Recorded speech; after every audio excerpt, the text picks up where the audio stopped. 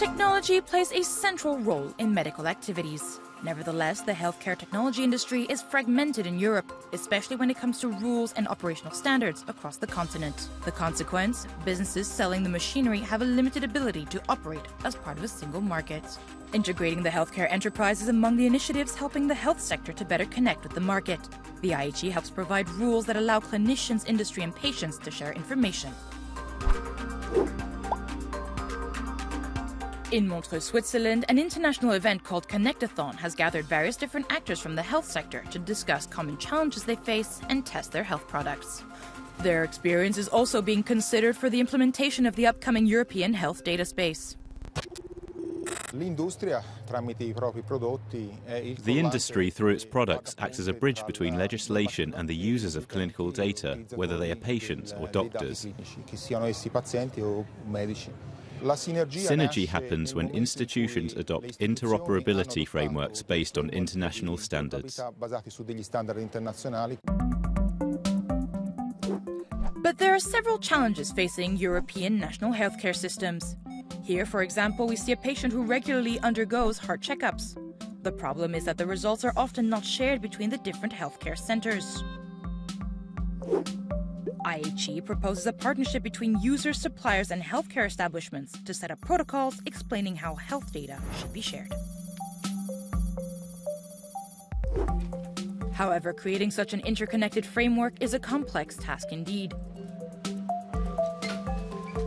So let's see how it works, thanks to the explanation of a Swiss cyber health expert.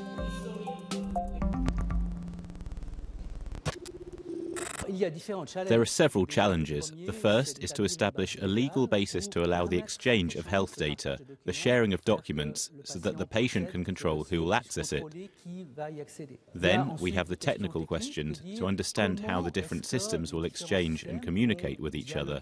And this is where IHE plays an important role by providing the standards to enable this interoperability. In digital health, standards and interoperability are critical to help the system run properly and provide patients with quality care. Standards are a set of rules that enable communication between the health systems, while interoperability means exchanging data in a coordinated manner.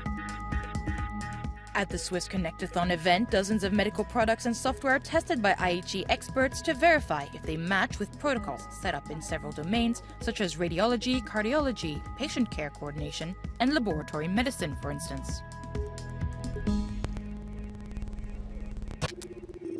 Euh, the software creators taking part in the event aim to test the exchanges between their system and the other software systems, which are modeled on real use cases. Euh, when it comes to authorizing access to patient health data, IT experts foresee a case by case option. We can imagine that consent will be by default, and then it will be up to the patient to decide which health professional has access to which data. On the other hand, a patient could say, I don't want my data to be accessed unless I'm admitted to the emergency room, and they really need to access it to treat me. The European Health Data Space Initiative will add momentum to the digital transformation of the healthcare systems. Moreover, in that new scenario, sharing data with digital health companies will help to deliver more patient centered healthcare solutions.